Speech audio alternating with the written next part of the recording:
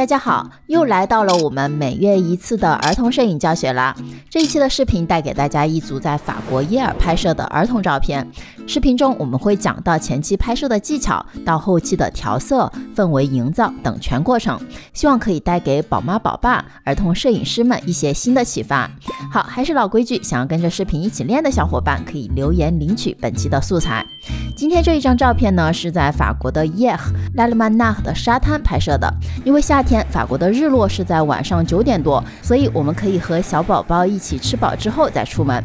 八点出门也不晚，到早了，阳阳光还比较强的时候呢，我们就可以熟悉场地。小朋友可以边玩我们边拍，从日落前拍到日落后。刚好拉勒曼拉的沙滩太阳正好是落在海面上的，所以海水就会反射出闪烁的波光，很好看。这张照片是在太阳快下山时，环境光逐渐变弱的时候拍摄的。这样的时机非常关键，因为只有在光线不太强的时候，我们才可以看到小灯的亮度。如果阳光还很强烈，那么小灯的光芒就会被淹没，就没有办法营造出夜晚的氛围。我特意将这盏小灯放在了船的下方，作为这张照片的主光源，既照亮了小船，也柔和地打亮了小朋友的面部。灯光呢，我调成了橙色，这样。和夜晚的蓝调就可以形成互补色配色，澄清对比。在拍摄时，大家可以注意，我们需要调整自己的姿势，蹲下来拍摄，尽量平视小朋友。如果你拍摄的角度太高，就会出现俯视的效果，从而失去照片应有的故事感。这次我用到的镜头是索尼的八五。如果出门只带一个镜头的话，那么八五是我的首选，因为用它拍儿童的好处是，我们可以拍到足够的环境。虽然幺三五长焦镜头拍儿童可以很好的突出主体，但是遇到好看的环境就很难展现它的广度。如果需要呈现更大的场景，就需要拍很多张，然后通过拼接来实现广角的效果。所以我觉得八五是一个折中的选择。好，关于相机的设置，ISO 是在五十，因为当时的光线还不是很暗，光圈开到了最大一点五。因为小朋友很好动，所以为了避免动态模糊呢，快门我设到了四百分之一秒。你自己在拍摄时呢，可以根据环境的亮度去调整 ISO 和快门。好，接下来我们就开始调片。大家看到，虽然调整后的效果变化非常大，但其实后期非常非常简单，比我们以前所有的影片都会简单很多。在 Camera Raw 或者是 Lightroom 中就可以全部完成，不需要再用到 Photoshop。好，我们看到照片的氛围是夜晚的感觉。虽然人物在画面中不是很突出，但我也不会强行的增加曝光去破坏夜晚的氛围。所以整体的曝光我们就先不调整，后面我们可以用蒙版单独的去突出人物。好，所以接下来我们就调整色调，到白平衡，把色温向蓝色的方向调整，然后再把色调向绿色的方向调整，让蓝色偏轻一点，而不是很冷的蓝色。这样的照片就会呈现出夜晚的蓝调。然后我们再到蒙版，选择人物主体。提亮白色和高光，就可以增加小宝宝亮部的明度。这里大家在调整时一定要注意衣服的白色一定不要过曝。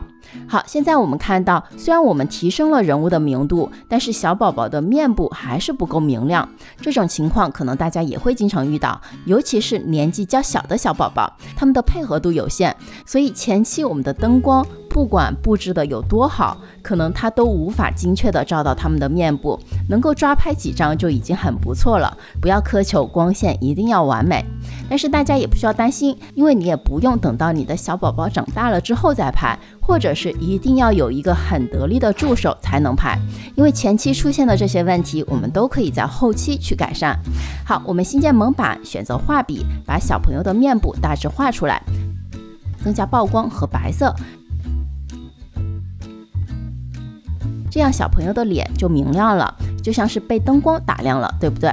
好，现在我们可以降低画笔的流动值，也就是强度，把小宝宝的手臂、腿这些地方也稍稍画一下，增加明度。好，现在人物在画面中就更加突出了。好，接下来为了更好的引导观众的视线，让他们的注意力可以集中在人物身上，我们可以创建一个新的蒙版，选择线性渐变。对前景的部分降低曝光，这样不仅能够弱化前景的干扰，还可以突出人物主体，让整个画面更有层次感。好，在新建蒙版选择天空，降低曝光和高光。因为后面我们需要在天空上画一个月亮，所以要让月亮看起来更加明亮呢，那么天空就需要暗一点。画一个月亮也很简单，我们新建一个镜像渐变，降低羽化值，让边缘更加明确一些，增加曝光，缩小，在天空上放好就可以了。最后，为了让夜景有朦胧梦幻的感觉，我们可以在背景上做一些薄雾的效果。还是新建蒙版，选择背景，按住 Shift 点击交叉蒙版，这样我们在使用画笔做选区的时候就不会影响到人物。好，我们画出人物背后和天地交接这一部分，然后增加曝光，降低去除薄雾的数值，就可以制作薄雾的效果了。好，蒙版的部分调完后，最后我们需要清理一下场景，点击橡皮擦这个符号到移去，把需要清理的地方画出来，点击应用就完成了。其他的地方也是一样的操作，都画出来，点击应用就可以移去画面中干扰视线的事物。好，最后我们可以到锐化增加锐化值，按住 Alt 拖拉蒙版。锐化人物的大轮廓就完成了，是不是很简单？其实之前我们也讲过很多期夜晚儿童摄影的视频，喜欢暗调氛围的小伙伴也可以去看一看。好，这就是这一期的所有内容了。如果你去练习了或者是实践了，记得一定要回来给我看一看。好，我们下期见了，拜拜。